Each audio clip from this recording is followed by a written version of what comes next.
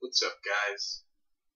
Uh, what's up? This is Gamerwurld, and um, I'm gonna do a review on a TV show. It's one of my favorite TV shows of all time. Um, a lot of you guys probably like it. A lot of you guys probably love it. Not a lot of people probably hate it. It's the show Lost.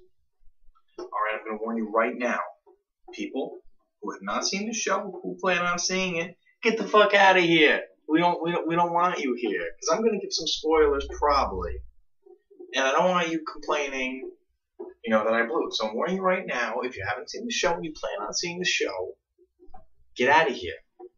All right. All right. So basically, the show starts. There's a uh, plane crash, and they uh, crash on an island. Sound familiar? Gilligan's Island. That's about uh, where the similarities between those two shows end. So, anyway, first season, wonderful, wonderful, wonderful. Um, it's not sci-fi at all. It kind of eases you into that, and um, I just suggest you getting the first season Lost on DVD or any anything else. Uh, don't download illegally. It's on Netflix. Season two, one of my favorite seasons. Awesome. They find a hatch. It's pretty cool. Season three, forget about it. Season three is out of control. Season three is the best season far and away. If you think differently, you're wrong. Just remember that right now. Season four, it's fast paced. It's uh, only 14 episodes, if I remember correctly. Uh, it ended short because the writer's strike, I think. Not positive. Gonna have to look that one up. But it was good. It was fast paced. It was afraid. It was a big explosion at the end. You know, what more do you need? Season five gets into time travel.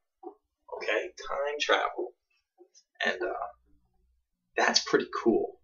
You know, if you know me, you know I love time travel, and season five's got it. You know, nothing else needs to be said.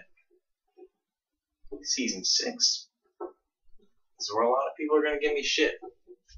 I loved season six. I loved everything about it, and I don't want to hear your bullshit about. I just think you're upset because it's over. All right, and uh, you don't want to. You don't want to say that, but it's true. It's over. Deal with it. They all died in the end. Well, not all of them, but they went through a flash sideways thing. So emotional. You know, crying for weeks after that. So, basically, Season 1, Gilligan's Island. Season 2, Hatch. Season 3, Awesome. Season 4, Writer Strike Explosion. Season 5, Time Trial. And see, Time Trial. Oh, I got Mario Kart in the brain. Time Travel. And Season 6, Awesome. I don't give a fuck what you think. Alright? So that's my two cents. I'm glad you listened. If you have not watched Lost, well, if you haven't watched Lost, you shouldn't still be watching this because I warned you. But if you haven't watched Lost and you're still watching this, A, you're stupid, and B, you're stupid for not watching Lost. Alright? Gallactica out, Game World out.